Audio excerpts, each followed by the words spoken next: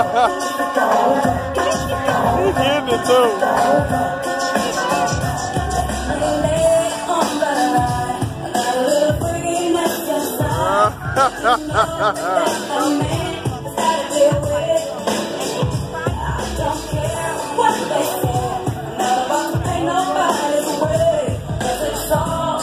That's when you enjoy what you do right there.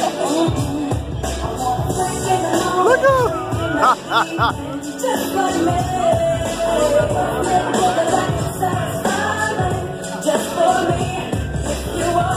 it, feeling it, feeling it.